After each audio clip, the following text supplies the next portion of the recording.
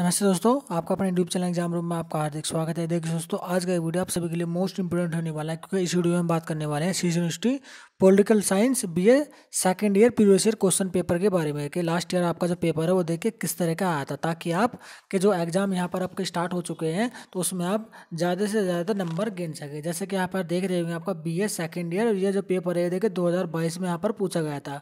और political science का ये पेपर है। पेपर का नाम देखें, यहाँ पर लिखा हुआ है गवर्नमेंट सॉरी कंपेरेटिव गवर्नमेंट और पेपर कोड देखिए इसका ये लिखा हुआ है, ए, दो सौ उनतालीस। तो चलिए स्टार्ट करते हैं अपना ये वीडियो वीडियो को देखिए लास्ट तक ज़रूर देखें दोस्तों।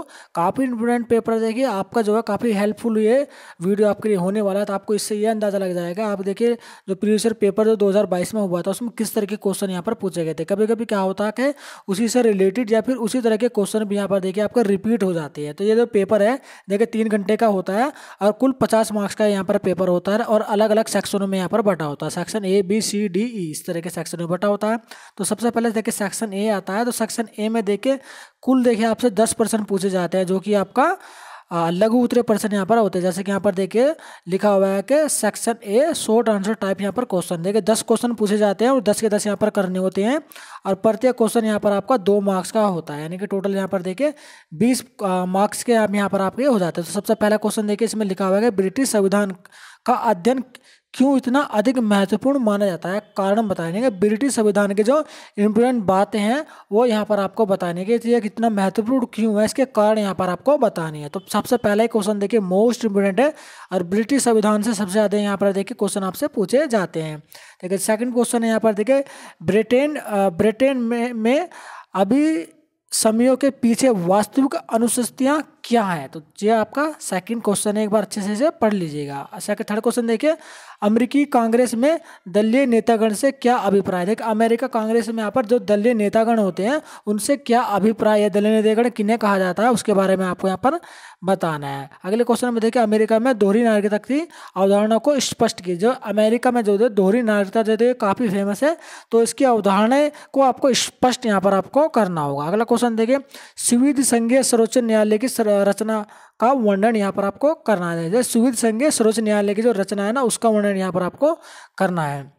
देखिए काफ़ी इंपोर्टेंट पेपर है। सारे के सारे क्वेश्चन ना बहुत ही अच्छे से अगर आप इनकी भी तैयारी कर लेंगे, बहुत सी बार देखिए ये होता है कि ये ऐसे के ऐसे क्वेश्चन जो है आपको रिपीट हो जाते हैं और वो आपके एग्ज़ाम में यहाँ पर पूछ लिए जाते हैं। नेक्स्ट क्वेश्चन देखिए स्विस संविधान की विशेषताएँ बताएँ। जो आपका स्विस संविधान है, उसकी विशेषता यहाँ पर आपको बतानी नेक्स्ट क्वेश्चन है, देखिए स्विस संघीय संसद की शक्तियाँ तथा कार्य बताइए। देखिए, जो स्विस संघीय संसद है ना, उसकी शक्तियाँ प्लस उसके कार्य, दोनों को यहाँ पर आपको बताना होगा। अगला क्वेश्चन देखिए, फ्रांस के मौलिक अधिकारों का वर्णन कीजिए। ये भी देखिए इंपॉर्टेंट क्वेश्चन इसमें फ्रांस के मौलिक अधिकार कौन कौन से हैं उसमें आपको बताना है।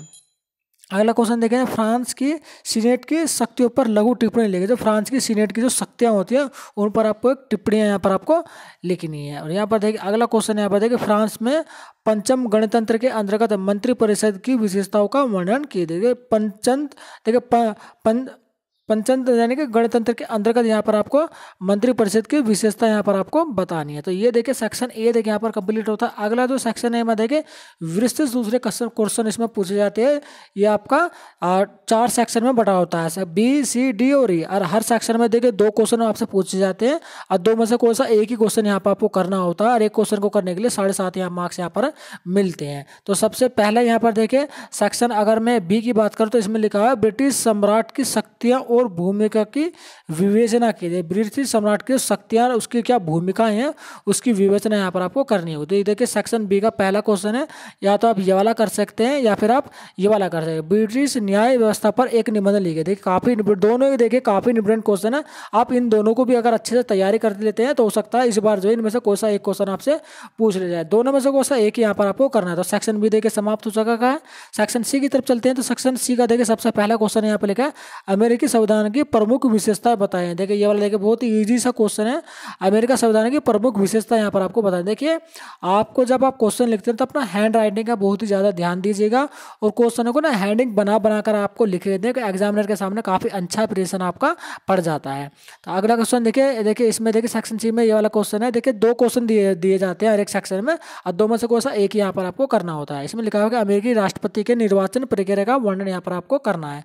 जो अमेरिका में जो राष्ट्र राष्ट्रपति के जब चुनाव होते हैं तो उसकी क्या प्रोसेस होता है, उसके बारे में आप आपको बताना है। सीधा सीधा इसमें पूछे, ये पूछा गया। सेक्शन डी में अगर पूछें तो सेक्शन डी में स्विट्जरलैंड की संघीय सरकार की शक्तियों की समीक्षा कीजिए।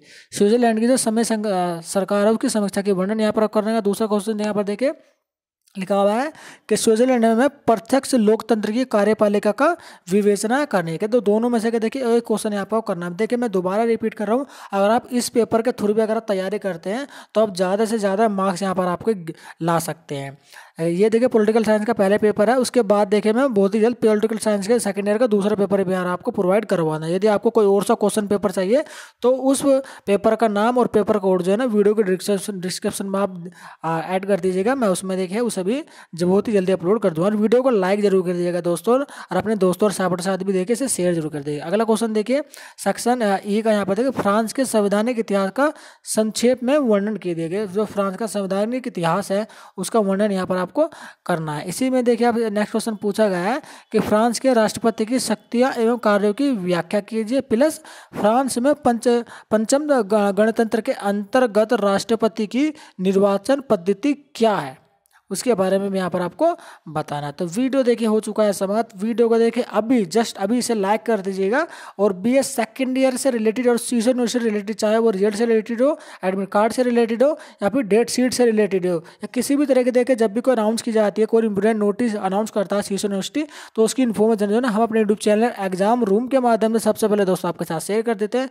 तो वीडियो को लाइक और हमारे यूट्यूब चैनल एग्ज़ाम रूम को सब्सक्राइब ज़रूर कर करिएगा तथा इस वीडियो को अपने दोस्तों और सहपाठ के साथ इस वीडियो को शेयर भी ज़रूर कर देगा, ताकि वो भी देखे पॉलिटिकल साइंस में ज़्यादा से ज़्यादा नंबर गेन सके और किसी अदर पेपर का अगर आपको क्वेश्चन पेपर चाहिए तो उस पेपर का नाम और उसका कोड भी यहाँ पर आपको देखिए नीचे वीडियो के डिस्क्रिप्शन बॉक्स में आपको ऐड करके उसे सेंड कर देना है। बहुत ही जल्द उसका वीडियो भी देखिए हम आपके साथ शेयर कर देंगे दोस्तों। तो चले चलते हैं, जल्दी मिलते हैं अपने नेक्स्ट वीडियो में।